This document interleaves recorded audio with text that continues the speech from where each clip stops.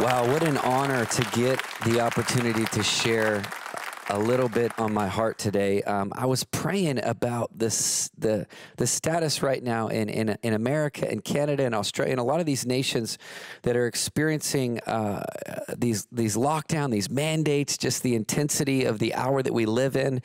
And the Lord really brought me to John chapter 20, and I want to read this story uh, that really has changed my life and really helped bring, uh, I, I, guess it's helped bring a model uh, in a sense of, of what we're called to be and who we are in this season. In John chapter 20, um, this is one of those moments where Jesus is reappearing to his disciples.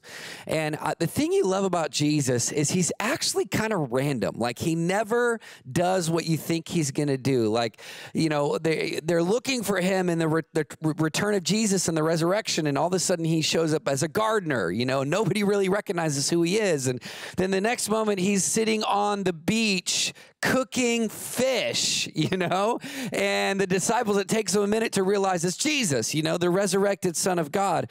But I love this in John chapter 20 because I feel like this was really the church in 2020 in many ways. And you, let's pick it up here in John chapter 20, verse 19. It says, On the evening of that first day of the week, when the disciples were together with the doors locked for fear of the Jewish leaders, Jesus came and stood among them. And I just love this thought that it's just wild. You know, the, the future of the New Testament church on the earth, like the, the, the hope of the entire church, is together in one room in the dark with the doors locked. And and and you know, you, you got to imagine, I mean, Jesus is not thinking this is what he's going to return to. He spent 3 years investing into these guys. He's they've seen miracles, they've seen signs and wonders, they've seen, you know, the the lame uh, walk, they've seen the the sick healed, they've seen, you know, the uh, uh, the you know the the bread and fish multiplied you would you would think that they would be pretty like he would return to a celebratory welcome party you know but instead here, all of the disciples are locked with the doors, with fear the Jewish leaders, hiding. And, you know, that brings me a lot of hope because I didn't spend three years walking and talking with Jesus. I didn't see the miracles. And so anytime I face fear or intimidation, I think about this story. And it says that Jesus came and he stood among them and he said to them, Peace be with you. Peace be with you. He spoke immediately into their place of fear, immediately into their place of pain, and he brought peace. And he said this After this, he showed them his hands and he showed them his side. It says the disciples were overjoyed when they saw the Lord. Immediately, the atmosphere shifted from one of fear and one of trauma and one of intimidation to one of peace and one of joy. And the, the amazing thing about this moment is, is that Jesus would have had every right to come in and rebuke them. He would have every right to come in and say, You weak, pathetic disciples, I poured my guts into you, and here you are, you're hiding. But no, Jesus is not like us. Jesus is not like the trolls on Facebook. You know, Jesus is full of kindness. He's full of compassion. He's full of empathy and he steps into their place of pain and brings peace without bringing, you know, this shame, without bringing this, well, you should have done this and you should have done this. He comes in to bring pain. And, and read this. It says in verse 20, after after this, he showed them his hands, his side. They were overjoyed. And it says, verse 21 Then again, Jesus said, Peace be with you. As the Father has sent me, I am sending you. And with that, he breathed on them and he said, Receive the Holy Spirit. We have four verses.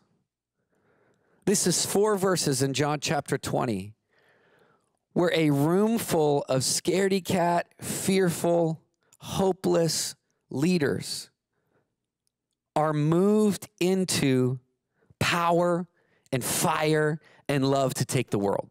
It was an encounter that lasted four verses. That's all it took. They didn't go through, you know, therapy. They didn't go through, and I don't think all those things are bad, but it, one moment with Jesus can dispel every amount of fear in your life. One encounter with his presence can shift you from a person of fear to a person of faith. And so that's what we see right here. We see this moment where, and, and if you read on uh, past this in, in, in, the book of John and then even into, you know, the, the, in, into the book of Acts, they're transformed from this moment forever forward. And I feel like in 2020, like the amount of fear fear, the amount of intimidation, the amount of stuff that we encountered, it left a lot of us hiding in a dark room. It left a lot of us in, in pain. It left a lot of us in trauma. It left a lot of us in worry. It left a lot of us in doubt. And I feel like this is a season, my friends, all over the world where God is stepping into your dark room. I even feel it right now all over the world. God is stepping into your dark room. And he's not coming to bring shame. He's not coming to, to, to condemn you. He's not coming to tell you, you know, how you failed miserably. He's not coming to, to, to, to bring you this, this, this condemnation for your addictions that you grabbed onto that you know you shouldn't have grabbed onto or the fear that became your friend that shouldn't have. No, he's coming in the midst of it to bring you peace. He's coming in the midst of it to bring you joy and to remind you of the mandate you're truly called to. And I feel even right now, there is a moment for us to go through a mass deliverance. I mean, it can happen right now. It can happen right now. We have seen it in 138 cities across America. There is not a city that's too hard. There is not a place that's too dark. There is not a, a, a piece of real estate in this nation that is too difficult for the power and the love of Jesus.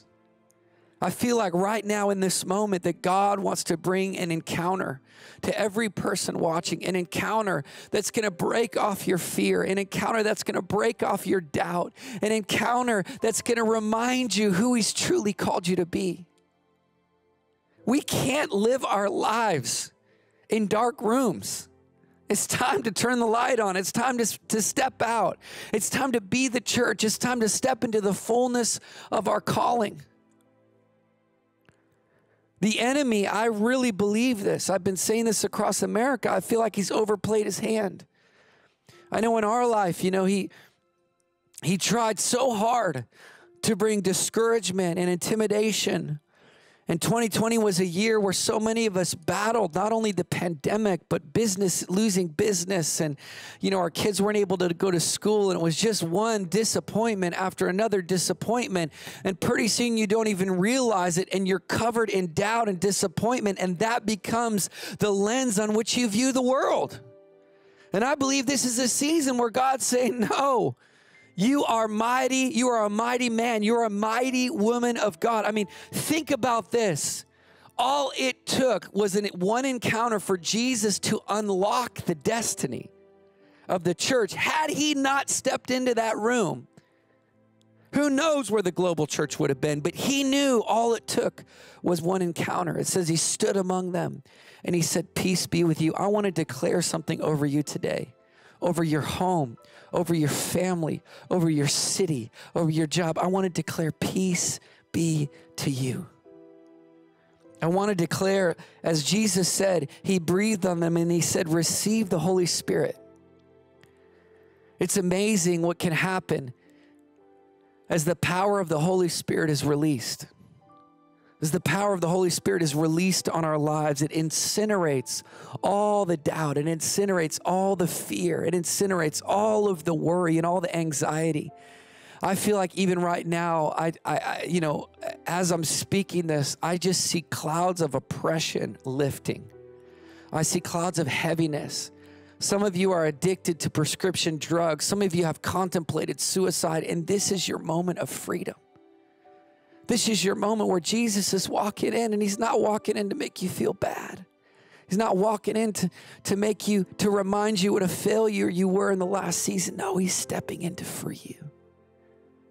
He's got plans, He's got promises, He's got dreams, He's got hopes for you. And He's not done yet, He's not finished yet. With that, He breathed on them and He said, Receive the Holy Spirit.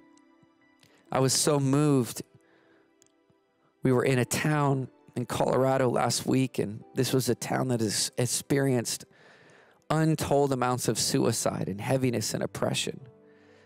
And the leaders of that town invited us to come and just said, can, can, we just worship? Can we just see what God can do to bring breakthrough?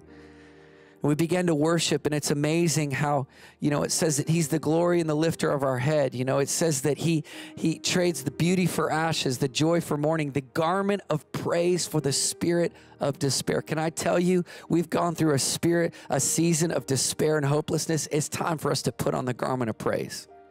I'm, I'm talking wild, outrageous praise. Like, and the Lord's been, He's been working on me too. You know, the other day I was stuck in traffic and, and, and He was like, you need to worship me. And I'm like, yeah, I, I will. I, you know, I'm in traffic. I put worship music on. I was kind of like this. He's like, no, no, no. Outrageous praise. Praise that brings the breakthrough, like you do on stages, but just do it in your car. And so pretty soon I was had my hands up and I was shouting and I was punching the air and I was worshiping and I had my eyes closed and then the light turned green and I, everyone was honking at me. But I had a moment of breakthrough in my car that day and i feel like that is a that is a that is a tool that we have to use. Worship as our weapon in this season to break off the heaviness all around us the heaviness of the media the heaviness of uh, of of our of our situations that we're in. And so i want to pray and i want to declare over you that this is a season of the garment of praise. This is a season where you're going to receive the gift of the Holy Spirit that's going to break off the fear that's been tormenting you. This is not a season of retreat, this is a season of advancing. This is not a season of hiding in fear. This is a season of taking ground in the Spirit and you're coming out of the dark room, you're stepping out of your place where you were locked down. Some of you actually really, this is physically you've been locked down. I feel like it's time for you to break out of that. And so I want to invite my friend Marcus to come. We're going to be we're going to pray over you right now that God would break through in every situation across the world. Sean, I sense the presence of the Lord here, and I love how you have brought hope to people. And if you have a need today and you want this man of God to pray for you, get on the phone or get online and say, This is my need, or this is my loved one's need, my son, my daughter, that hell has tried to destroy, that the devil has tried to, to bring them down. God can intervene today. He really, really will. So while people are calling, let's put up the information about Miami, New Year's Eve, and give everybody an invitation. We want everybody to join us in Miami. I am telling you, it is going to be the worship party of 2021. I like that. There's nothing like worshiping from the from the last season yeah. into the next season. Oh, so There's good. something powerful about that. So All right. Us. Well, if you're in the greater Miami area, write that information down. Go to uh, the website. US. Yeah, that's real easy to remember. Letusworship.us and Sean, would you just begin to pray over all these prayer needs today? Yes, Lord. We just thank you, God, right now that there Thank is you, no Father. distance Hallelujah. in the spirit. We believe, yes, God, over oh every Lord. one of these requests, God, for dynamic oh breakthrough in, in this season, God, that you would invade every area of need. God, that you would show up, God, and you would bring miraculous signs and wonders, deliverance, freedom. We pray the garment of praise you, for Father the spirit God. of Hallelujah. heaviness. Lord, we thank you, God. We thank you, Lord, for every single one of thank these needs, you, God, that you would meet them according Lord, to your riches and glory. We pray for our friends all over the earth, God, not just in America, but all over the earth, God, that you would show up in this season for such a time as this. Step into the dark room and bring the Holy Spirit. Well, we love you. We'll see you again right here on Daystar.